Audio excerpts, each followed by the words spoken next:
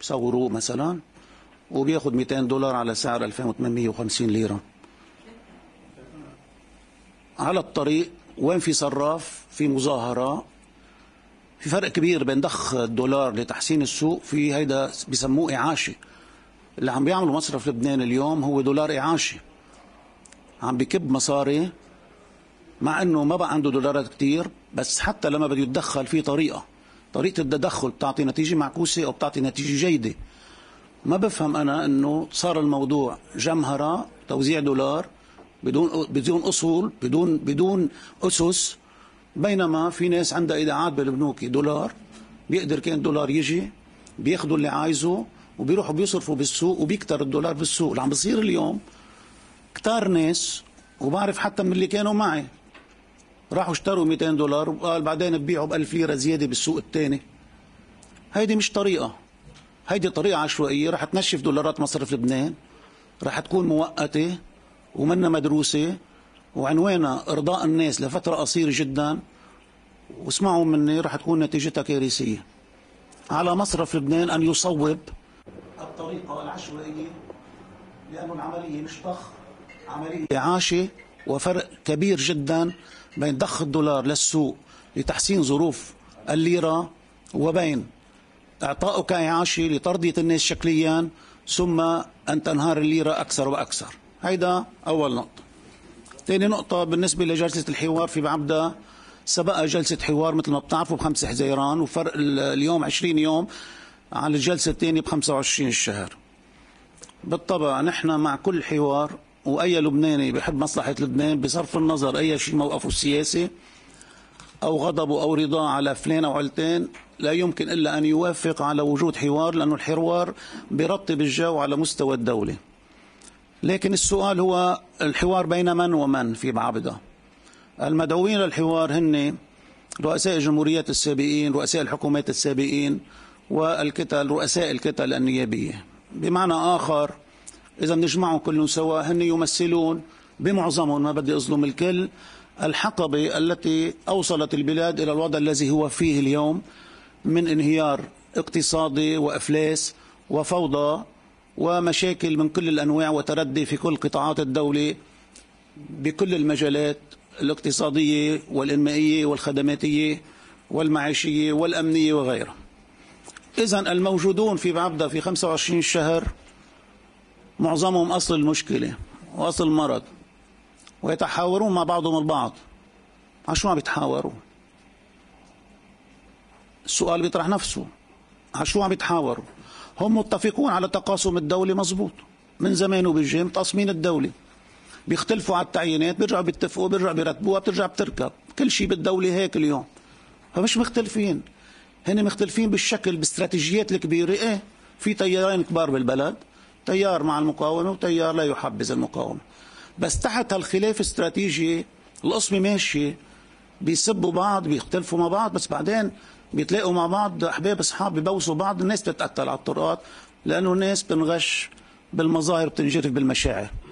اذا ما هي الجدوى من اجتماع من حوار ببعبدة غير إعطاء رسالة بالشكل للناس إنه نحن عم نتفق. على شو عم تتفقوا؟ الخلاف الأساسي بينكم هو بين الناس. هذا الموضوع. وإذا في من حوار ببعبدة عنوانه مصالحتكم مع الناس والمصارحة مع الناس والقول للناس ليش وصلنا لهون وشو نيتنا نعمل لنوصل لهون. الحوار مش يتفقوا مع بعض ولا لا تصالحوا مع بعض. متصالحين متفقين مثل ما قلت على تقاسم الدولة. وهالتقاسم عمل الانهيار النتيجة الوحيدة اللي بتوقعها أو بتوقع أي عاقل بلبنان من اجتماع من هالنوع بقصر بعبدة مش فولكلور ولا مثل الاجتماعات السابقة كلها الحوارات اللي هيدا. صح ترتيب الأجواء بالشكل. النتيجة الوحيدة المتوقعة أننا مسؤولون كمجموعة بمعظمنا عما جرى في البلد وعما يجري في البلد منذ سنوات إلى اليوم وأننا نعترف للناس بارتكابنا أخطاء جسيمة وأننا مستعدون للمحاسبة وأننا سنرمم ونسعى لتقويم هذا الوضع وتصحيحه بما يعيد لبنان قدر الإمكان تدريجيا إلى واقعه الطبيعي الصحيح وغير المريض. أما غير هذا موضوع لجلسة الحوار ببعبدة ومع احترامي لنوايا فخامة الرئيس هيدي على طريقة أبو ملحي ما بتنبنى الدول وعلى طريقة تبويس اللحى ما بتنبنى الدول. وعلى طريقة قعدنا مع بعضنا ووزعنا ابتسامات على الطاولة وطلعنا بعدين كل واحد أخذ شقفته بالدولة. ما بتعمل دول. مطلوب من حوار بعبدة أن تتخلى كل طائفة عن دولتها وتتخلوا أنتوا كل واحد عن دولته ليبقى في دولة. في لبنان الدولة المركزية تنهار تنهار ودول الطوائف تبقى على قيد الحياة. هلا اليوم الدولة المركزية هي المنهارة بس دول الطوائف الشيعية السنية الدرزية المسيحية كل واحد حسب نسبته تبقى على قيد الحياة الميت اليوم هي الدولة المركزية يلي هي دولة كل الناس. إنما دول الطوائف بعد عم تركب بصراع تعيينات عم تركب بصراع فساد عم تركب بمئة ألف شغلة. انطلاقا من هالموضوع ولحتى ما نكون عم نغش بعض في حدا مثلنا منه ضد الحوار؟ بس مجبور يقول للرأي العام ماذا عليه أن يطلب من هيك حوارات؟ نحن مع الثورة بس مع عدم ركوبها للثورة من قبل تيارات وأطراف واستغلالها لحرفا. كان من زعران ولا من سياسيين؟ أزعر بيركب على موجة الثورة لحتى يخرب ويسيء ويهين ويعمل. والسياسي بيركب على موجة الثورة لينقل من كتف لكتف ويقطفها عند الناس وهو بمعظمهم سبب هذا البلاء الذي نحن فيه. هذا بالمختصر المفيد نظرتي للموضوعين مصرف لبنان عليه مسؤولية ورايحين على كارثة بالطريقة حوار بعبدة إن لم يكن واضح الهدف وواضح المقصد وواضح الإجراءات التنفيذية مش بحكي يكون محطة من كل المحطات اللي شهدها البلد عنوان الأساسي. ضحك عدقون وتبويس لحى وشكرا. جنرال سؤال سؤال. هل تعتبر آه، الجلسة ببعبدة هي محاولة من كل الأطراف السياسية آه، للتحضير والاتفاق فيما بينهم آه، لإحتواء انفجار صار هن مدركين إنه حاصل لا محالة؟ هن الانفجار. أصلا أصلا بكل دول العالم الدول بتعتل هم الطريق الفوضى من الطريق من الشارع المشاكل من الشارع الخلل من الشارع. ببلد لبنان بس وحده بكل الكون خلل من فوق لتحت. يعني التعصب يبدأ من عندهم ونزول السرقه بتبدأ من عندهم ونزول الجريمه حتى اختصاص القتل من عندهم ونزول بالتاريخ تبعهم أغلبهم. طيب بلبنان وحده بالعالم الرزالة من فوق لتحت. بكل بلاد العالم الدولة بتعتل هم الشارع. نحن المواطن والشارع بيعتل هم الدولة. كله بتفتح التلفزيون معارك فيه تطلع بتشوفهم كيف من بعض. وفجأة بدهم يعملوا حوار وبعدوا يبوسوا بعض. طبعا شو هالضحك هيدا؟ ما كررتوها 200 ألف مرة بس تين كلها. وما طلعت نتيجة. ما بنسمع غير حوار ورا حوار ورا حوار ورا حوار. في شيء حوار أدى إلى مصالحة الناس؟ أنت الناس مش بحاجه لمصالح ببعضهم. أنا بعرفهم ما بيتخانقوا. إحنا بمجلس النواب بالحكومة بالحكومات ما بيتخانقوا.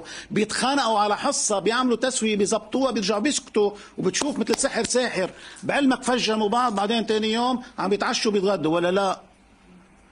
هن خصمهم المواطن مصلحة الدولة. الدولة المركزية بلبنان مفقودة دمروها. طيب لما بيدمروها بتطلع النتيجة على الناس هيك. هلا هيدي الاحتواء عجز منه هن ما بقى حدا قابض إنه عدنا بوسنا انحلت منا بميليشيا الحرب بالفترة زمان بميليشيا الحرب كانوا يتقاتلوا معظمهم هودي كانوا يقوصوا على بعض. ويصير خطوط تماس شوي تهدى. العالم لأن وطئة الرصاص والحرب والدني والقتل والدم شنيعة على الناس. كانت تقول تتأمل خير يومين ثلاثة على أساس هودي اللي بيهدوا هيدا بس تماس الدولة قتل بلا رصاص. التماس بداخل الدولة قتل يومي للناس. يعني نحن بحرب أهلية بلا قواس بس بحرب أهلية جوات الدولة. شو معنات الحرب الأهلية؟ إنه كل مجموعة كل طائفة كل هيدا ياخذ حصته منها ويلعب فيها ويعمل تماسات. طيب بدل ما كانت التماسات بالمرافق وبشيء وعلى المتحف وما بعرف وين وبين الجبل وبين الضاحية وبين الساحل وبين ما بعرف شو تماسات نقلت إلى داخل الدولة. الدولة تبعيتنا مجموعة خطوط تماس بين الطوائف. هون في ضابط وقاضي ونايب ووزير ومدير عام وسفير ومحاجب وهون نفس الشيء والتماس بيناتهم. بس يعلقوا مع بعضهم بيخلق خط التماس بعدين هلا بس هيدا تماس آه، أسوأ بكتير من الحرب. الحرب برات خط التماس ب 200 متر. إذا بيتك موجود تاخذ احتياطات بتقدر تروح تعيش. بس هذا النوع من التماسات داخل الدولة يقتل كل إنسان بحاضره بمستقبله بابنه اللي ما خلق بعد. هيدا التماس اليوم نحن الذي نعاني منه. تماس الدولة اللي عم بينعمل اليوم التماس السياسي اللي جزأ الدولة وعم ينهبها وبنفس الوقت حاططها مقتطعات واقطاعات هيدا اللي مدمر البلد هيدا بيدمر هيدا قتل جماعي. خط التماس إصابات عرضية بتروح بتتعرض بتنصاب هون بتكون قاعد بالبيت عم تنصاب. بتروح على السوبر ماركت بتحس حالك منصاب. بتروح تشتري قنينة مي بتحس حالك منصاب. بتروح بتدفع فاتورة التليفون بتلاقي حالك منصاب. هذا الحوار اللي مثل ما بيقولوا مناخ القتل الجماعي اللي عم بيمارسوه من خلال تقاسم الدولة. بده يخاطب شيء جوهري بوضع البلد. ما بقى حدا بيغتش ولا حدا بقى بيصدق إنه سياسة تبويس اللحى والقعدة ببعبده أو باي مكان بلبنان. بين الأطراف نفسها يلي هي مثل ما بيقولوا مسببة كل هالشيء بمعظمها. نقول إنه سيكون هنالك جدوى وجدية. وتصديق من قبل الناس. وجهت انتقاد لحاكم مصرف لبنان بآلية ضخ الدولارات. أكيد إيه. هذه هذا الانتقاد يعني هذا يعني اللي عمله حاكم مصرف لبنان أتى بمباركة سياسية أعلن عنها بالتفصيل رئيس مجلس النواب بالمبدأ. علما أنه ما له دور وظيفي. مثل بالقيادة، القيادة بتقول لك كقائد اعمل حرب بهذيك الجبهة، أنت بتعمل لها تفاصيلها، بتقول لك السياسي مثلا أنت جميل سيد قائد جبهه بدك تاخذ لي هالتلة. ما بتقلي السياسي كيف بعملها لحتى أوصل ليها. السياسي قالت له لحاكم مصرف لبنان ضخ دولار بالسوق لحتى تساعد بتخفيض سعر صرف الليرة. مزبوط الآليات والهيدا هو قائد العسكري للمال. هو اللي لازم يحط استراتيجية صحيحة للوصول للموضوع. إذا قال نفسه خبير وبتحمل مسؤولية يعملها للآخر. نحن كمراقبين بالمال بالأمن بالشغلتنا مش هيك؟ نقول إنه هي الطريقة بحد ذاتها هي توزيع اعاشه ما بتأدي لأنك توصل لهالتلة اللي طلبتها منك السياسي. السياسي لا تتحمل مسؤولية إنه قالت له ضخ مال لتخفيض سعر صرف الليرة. هو بيتحمل مسؤولية كيف ضخها وبأي طريقة ليعطي الجدوى. إذا ما اعطى الجدوى المطلوبة وعطت نتائج معكوسه القائد العسكري أو القائد المالي أو اللي عم بيدير الدفة هو المسؤول تجاه السياسي والناس بس السياسي عطت الفكرة. دايما دايما الرعيل الكبير بيعطيك الهدف بخط عريض. توزيع الإعاشة. هن أكثر خبرة. الأحزاب ضد توزيع الإعاشات هن أكثر خبرة.